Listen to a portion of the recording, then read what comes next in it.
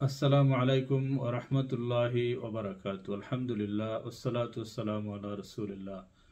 সম্মানিত দর্শক, শ্রোতা ওয়ার্ল্ডে যে যেখান থেকে আমাকে দেখছেন, সবাইকে আন্তরিক প্রীতি এবং শুভেচ্ছা জানাচ্ছি এবং আমার কথাগুলো শোনার জন্য সবাইকে আন্তরিক ধন্যবাদ জানাচ্ছি। সম্মানিত শুধু আপনারা জানেন, আমরা অসংখ্য অগণিত রহমত, নিয়ামতে পরিপূর্ণ মাস।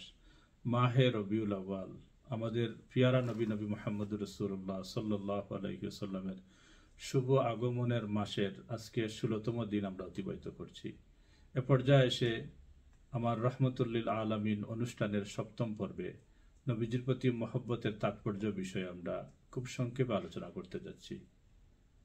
তার প্রতি মহব্বত এটা বর্ণনাতীত, এমনকি কল্পনাতীত।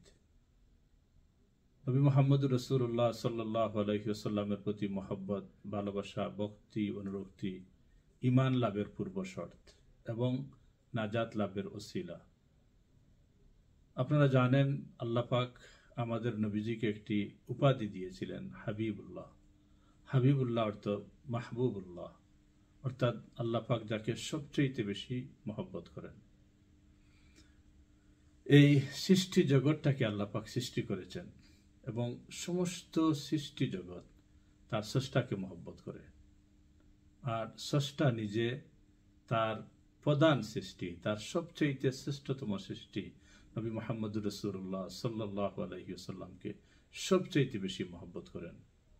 এবং আল্লাপাক সুস্পষ্ট ভাষায় কোরআন শরীফ ঘোষণা করেছেন। আল্লাপাক বলছেন যে, হে আমার হবিব, আপনি এই মানব জাতিকে কথাটি বলে দেন। قل إن كنتم تحبون الله فاتبعوني يحببكم الله ويغفر لكم ذنوبكم والله غفور رحيم يا আমার হাবিব আপনি বলুন কুল ইন কুনতুম তুহিব্বুন আল্লাহ যে তুমি তোমরা আমি আমি আল্লাহকে মহব্বত করতে চাও ফাত্তা বিউনি তারা যেন অনুসরণ করে আপনাকে তারা যেন অনুকরণ করে আপনাকে। তাহলে ইয়হবিব কুমুল্লাহ আমি আল্লাহ তাদেরকে মহব্বত করব। ওয়াইয়াকফিলাকুম জুনুবাকুম এবং আমি তাদের প্রিভিয়াস সমস্ত গুণাখাতাকে মাফ করে দিব। আল্লাহ গাফুর রহিম, তারা আমি আল্লাহকে পাবে ক্ষমাশীল এবং খুবই দয়াশীল, মেহরবান। সময় তো শুধু আপনারা জানেন, একজন বিশ্ববিখ্যাত মুফাসির যার কিতাব না পড়লেই না হয়।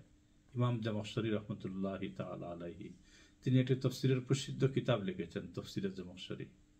এই কিতাবে, এই আয়তে করিমার ব্যাখ্যাতে তিনি লিখছেন, ওয়াইন কুন্তুম রিদিন আলী ইবাদাতিল্লাহি ফাত্তাবিউনি। যদি দুনিয়ার কোনো মানুষ, কোনো মানব জাতি এবাদতি করে আল্লাহ আল্লাহকে সন্তুষ্ট করতে চায়, তাহলে তারা যেন নবী মোহাম্মদ রসুল্লাহ সাল্লাহ আলহিসাল্লামকে অনুসরণ করে অনুকরণ করে। নবীজির অনুসরণ, অনুকরণ ব্যতীত তাদের কোনো আবাদতি আল্লাহর কাছে গ্রহণযোগ্যতা লাভ করবে না। নবীজিকে কত মহব্বত করতেন। আমি বলেছি, এটা বর্ণনাতীত ইভেন কল্পনাতীত। আপনারা আপনারা জানেন যে ভারত উপমহাদেশের একজন শ্রেষ্ঠতম আল্লাহর বলি ছিলেন বায়াজিদ মুস্তামি রহমতুল্লাহ তালা আলাইহি। তিনি তার জীবনে একটি ঘটনা যদি আমরা বলি, তাহলে নবীজির প্রতি মহব্বতের একটি সংক্ষেপ নমুনা পাওয়া যাবে। তার একজন মুরিদ একদিন তার জন্য একটি হরমুজ ফল নিয়ে এসেছিলেন। খুবই সুন্দর ফল, খুবই মজাদার একটি ফল।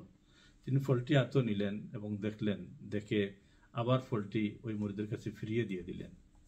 যখন মুরিদ অসন্তুষ্ট হয়ে জিজ্ঞেস করলেন যে, আমি, আমার ফলটা আপনি ফিরিয়ে দিলেন? তখন তিনি বললেন, দেখেন, এরকম কোনো ফল আমার পিয়ারা নবী নবী মোহাম্মদ রসুল্লাহ সাল্লাম খেয়েছেন কিনা আমার জানা নেই। এজন্য আমি এটা খেতে পারব না। আজ বাজিদ বুস্তামি রহমতুল্লাহ তালা আলাইহি আল্লাহর এত নৈকট্য লাভ করলেন, আল্লাহর একজন মহান অলি হিসাবে পৃথিবীতে পরিচিতি লাভ করলেন। আজকে হাজারো বছর অতিবাহিত হয়ে গেছে, কিন্তু তার এই মাজারের, তার এই এরিয়ার এই বিড় আর বাঙ্গে নাই এবং দিন দিন আরও বৃদ্ধি পাচ্ছে। কেন? যারা আল্লাহর অলি ছিলেন নবী মোহাম্মদ রসুল্লাহ সাল্লামকে মহব্বত করে তারা আল্লাহর নৈকট্য লাভ করেছেন।